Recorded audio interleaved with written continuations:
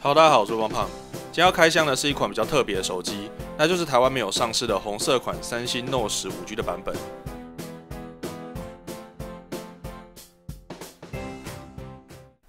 这边看到的是胖胖的朋友透过水货管道入手的韩国版。首先看到红色 5G 版 Note 10的盒装，基本上和台版差不多，不过中央的 S Pen 图案是红色印刷，另外型号底下还多了 5G 的文字。开箱之后，红色版搭配的也是黑色配件。接着看到手机本体，先来和我右手边的台版白色 Note 10比较一下，基本上呢外形完全相同，唯一一个不明显的差异在于背面的底部，在韩版的 Note 10呢会印一排型号小字，这部分台版没有印任何东西，比较美观。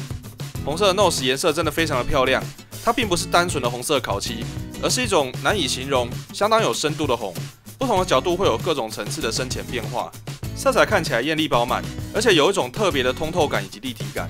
整只手机拿在手上呢，非常的抢眼，让人想忽视都很难。侧面也是金属红色的边框设计，同样也是闪闪动人。正面的边框则没有什么意外，采用的是黑色设计。S Pen 的部分搭配机身也是全红色的设计，相当的好看。而且在按键和笔尾的部分用上了不同的烤漆，所以看起来光泽不太一样，有多了一点金属的感觉。韩版 Note 15G 版本拿来台湾呢，可以正常的使用，虽然在台湾用不到 5G 网络。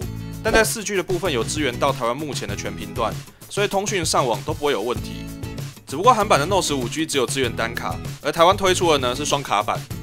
语言的部分也都有支援中文显示，这部分倒是不必担心。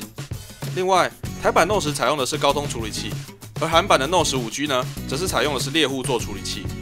最重要的一点是，台版的 Note 10记忆体只有八 GB，虽然已经非常高，一般使用呢绝对足够。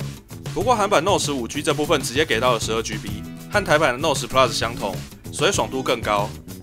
其余的硬体规格跟功能，台版和韩版就都差不多了。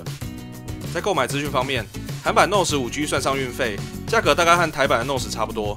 但是呢，多了 5G 的网络，机体升级到 12GB 润还有比较不容易撞击的稀有度，感觉呢是蛮划算的。